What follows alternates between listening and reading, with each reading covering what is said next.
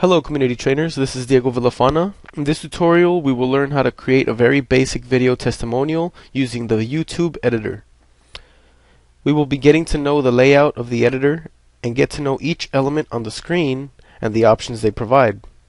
Then we're going to upload the pictures and video clips we'd like in our project, add some transitions to our clips so that they mesh and play smoother, we will also learn to split our clips precisely and adjust their timing up to the nearest tenth of a second. This will help us keep only the scenes we really want. And finally, we will see how to add text to our project for credits and questions, but not for captions. Some advanced editing such as captions would be very time consuming and ineffective using this tool, so I would recommend sticking with the basic editing. Okay, well let's begin by visiting the editor now. The first thing I noticed about the editor is that there isn't a direct link to it on the YouTube homepage, or at least I didn't find it.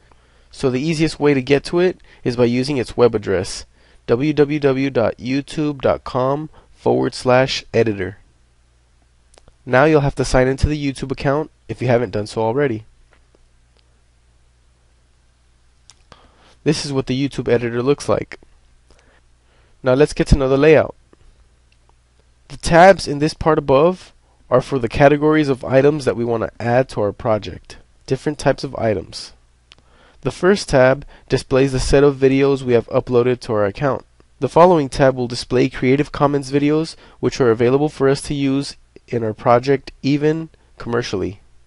These are useful if you'd like a scene of some sort in any part of our video. For example, a rocket preparing for liftoff to start off your video. The next tab is the Photos tab. Here you can select any photos you've uploaded to your Google account, or you can upload photos directly from your computer.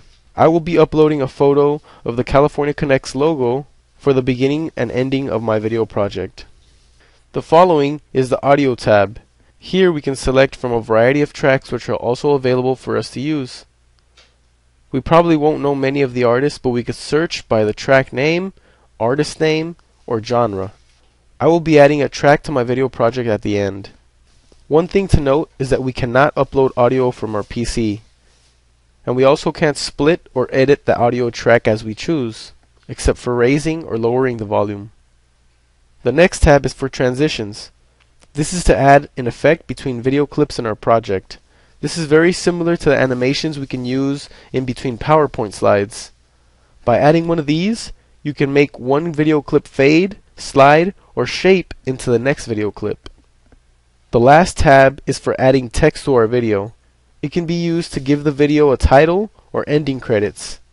I'll be using this option to highlight the questions I ask my trainees in their testimonials. As I mentioned before, I recommend you stay away from trying to add captions.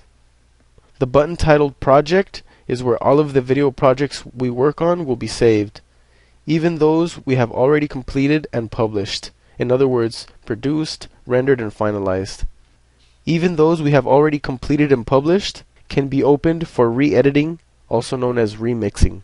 One thing to note is that our video projects are saved automatically with every change we make, so we don't have to worry about constantly saving or losing our work.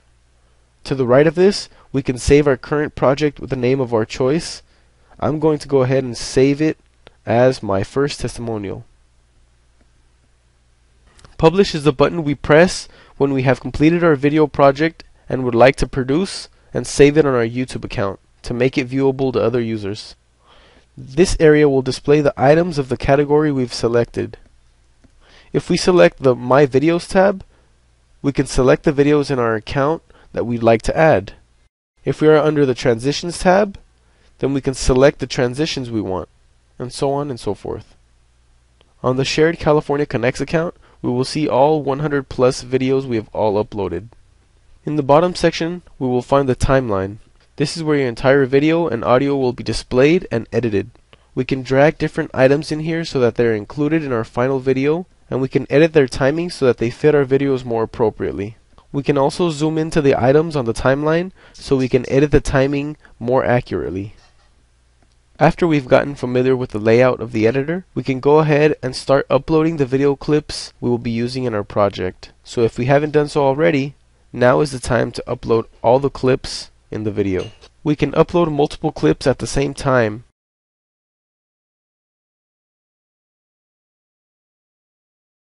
And while these are uploading, we can change the name of the file, add the description or tags, but I don't think it's necessary since we will only be using these to create our final video.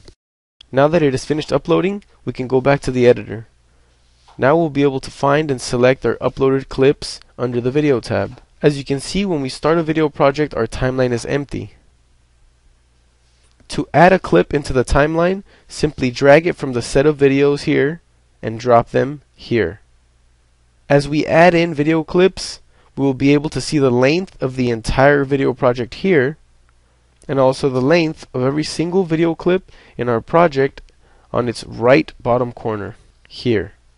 These will be very helpful to keep in mind when we are editing and splitting scenes. Below the timeline we will see a zoom bar which will zoom into the project. This will help us edit our videos more precisely. We can zoom in so close so that we can pause or edit a clip frame by frame. When a video is playing, the cursor will be moving across the timeline. We can also drag this cursor to any part of the project and begin playing it from there. By default, adding a photo to the project will play it for a length of 5 seconds. We can extend or cut this length to our liking by clicking on the photo and dragging it by its sides. We can edit a photo the same way we can edit a video we can add some basic effects here, text here, or split it here. I'm going to add some effects to our photo. When we click on the effects button, a window will pop up and we will be able to preview the basic effects we add instantly. We can change things such as brightness and contrast, a random pan and zoom, black and white, or add filters such as thermal, 1960s, cartoon, sepia, neon, and others. Down below you can click here to preview the effects side by side to the original picture or video. Once you are ready to save the changes, we need to click on the Save button. Now I'm going to add some transitions before and after the intro photo and in between clips. These will add quality to the video by giving the scenes a smoother beginning and finish. I'm going to select the Transitions tab and drag a transition into the timeline wherever I want to place it. This is how transitions will look. Personally, I like adding transitions before every question I ask the trainees. But first I will need to locate and create the individual scenes. So the next thing we're going to learn is how to split. In video editing, splitting is used for trimming certain scenes of a video clip that we do not want to include, so that we could begin or finish playing it at the exact moment we like. For example, if I have a video clip that's 8 minutes long, but I don't need the first minute of it, then I can split it at the one minute mark and delete the first minute of the clip. Let's say after the next minute of the video, the clip gets boring for 30 seconds. Then I could split the video at a new time mark and shift the video over to skip the boring scenes. At the end of our editing, all of our split scenes will be reunited as one to make a nice time edited video. Now let's take a look at it in the video editor. To make a split in the editor, it's important to note the time. In other words, the exact second where you want to split your scene. Make sure not to confuse the length of the total project with the length of the single video clip. Right now we're looking at the length of the entire video. The entire video is 8 minutes and 39 seconds. We're looking at the time, 8.39, we're looking at the time of three video clips. 38 seconds, 38.2 seconds, 7 minutes and 11.5 seconds, and 48.9 seconds. That's a total of 839. But when we click on this video, say we want to edit this video, we have to click on it first. Make sure don't don't select any of these options. Just click on it with the eh, when you have the X. Click on this. That's selected. So this one's 14 seconds, and you can actually tell which part are the 38 seconds, and these are here in blue. So when we click on it, we just want to make note of what second this is at. So let's say. En primer lugar que me motivó a mí porque yo verdad lo necesito mucho en mi trabajo y luego este escuché de esta oportunidad. Que let's see. When she says oportunidad, is second 25. But when she if I select out now I'm looking at the timing of the whole video project this is going to throw us off so be careful not to get thrown off at second 25 remember she said something like unidad let's see that again En primer lugar que me motivó a mí porque yo verdad? Lo necesito mucho en mi trabajo y luego este escuché de esta oportunidad. Oportunidad see there it is. And in the video clip itself in the original video clip it was second 25 but in the total video project it's second 11 so let's not confuse those two. Let's use this unedited video clip as an example. In this clip you can hear me asking the trainee some questions and the trainee responding I want to split the video so that you can only hear the trainee answering the questions and not me asking them it's very important to click and select the video clip first because we're going to be looking for the exact second to split it precisely if we don't select it, we'll be looking at the length of the entire video project. ¿Ya está grabando? Parece que ya está grabando, ok. Entonces, este, pues unas preguntas que le quería hacer a usted, Marina Hernández, quería preguntarle, pues, ¿qué fue lo que lo, la motivó a usted a venir a las clases de computación? En primer lugar que me motivó a mí porque If you can see that, I I stopped talking at second 14. So I'm going to want to split at second 14 of this video clip. Again, it's important to click on the single individual video clip because this will display this will display the length of the single video clip as opposed to the display of the entire project. When we click out of the single video clip, you can see it's not selected anymore and it shows us the time of the entire video project. But when we click inside of it, we can tell that it's the single individual clip's duration or length. So in the single duration of the video, the second I'm looking for is 14. So I'm going to go ahead and try to split this at second 14. You can see here goes second 1, 2, 3, 4. 14 is where I stop. I'm going to split. And to split it, we actually have to move the mouse up and click on the button. Make sure make sure that button down there where the 14.2 is, make sure that's at 14.2. So I'm going to split here. There we go. So now I could even zoom in a little bit more so I could see the timing better. And I can see that if I start playing here at second 14 that's when I stop talking and that's where I want to get rid of. I'm going to want to get rid of this clip. Usted a venir a las clases de computación. en primer lugar que me Okay. motivó a mí porque So we can see that that's exactly where I stopped talking, and I'm going to get rid of this clip. I don't want my side of the story and me talking. Now, I can zoom back out. Now you can see that it starts. Now the length of the whole project, I'm going to go back and see if we can see it all. Get this whole zoom thing correct. So I can see the whole project. I can see that the whole project now lasts 842 as opposed to 856 and the beginning of the clip, so the beginning of the project now begins where she starts talking. en primer lugar que me motivó a mí porque And that's how you split a clip so you can keep only the scenes that you want.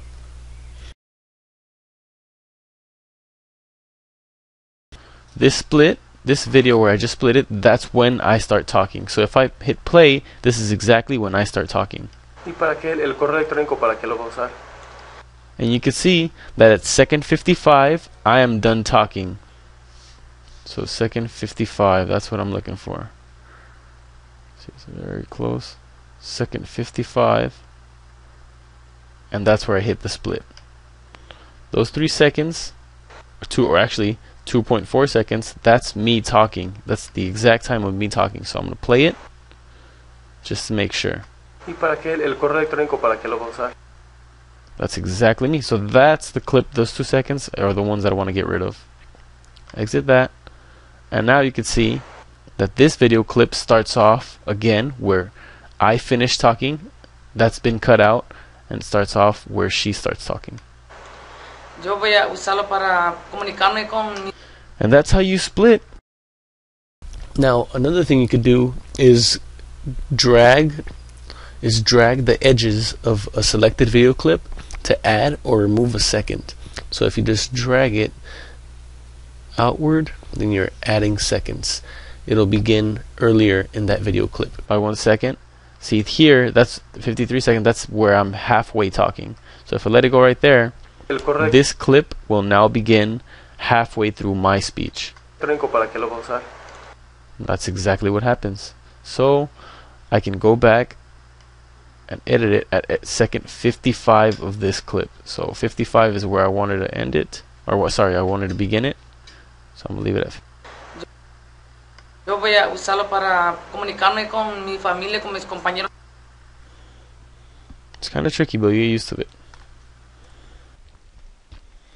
So finally, the last thing I want to show you guys is how to add text to your video so that you could um, use it for credits or I like using it um, to highlight the questions that I ask my trainees. So we're going to learn how to use text. We've already seen how to add photos, how to add transitions, how to split the video clips so we can keep the scenes we like. Now at the very end, I'm going to add, the first thing I'm going to add is some credits to my video. So I'm going to scroll up to the text tab up here and add a slide. I think I'm going to choose the slide option so that the credits slide in. So when we choose some text to slide in, preview how the text is going to look. We can edit things like the font, size, boldness, color, or background color. So you can see it automatically previews um, what it's going to look like. Now we click on save to save the changes. And this is what that ending credit is going to look like. Scrolls in. I also went ahead and added a California Connects picture at the very end with a transition. But that's what it's going to look like. The last thing we're going to see is how to add text inside a video clip. I like using this for when I ask the trainee some questions so that it looks like this. ¿Qué fue lo que lo, la motivó a usted a venir a las clases de computación? So to do this, we're going to click on the letter A inside the video clip, this A option.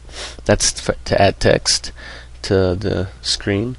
And we can choose, again, all kinds of things such as font, the size, the bold, color, and it's going to be automatically being previewed as we're editing it. As long as enabled text, this little box right there for enabled text, as long as that's click checked, then we will be previewing it with the text that we write. So our final result will look like this. Pues, ¿qué fue lo que lo, la motivó a usted a venir a las clases de computación? Then we're going to click on the save button and save the changes. And I'm going to do this for the rest of the video. Wherever there's a question, I will add text to highlight the question. La motivó a usted a venir a las clases de computación.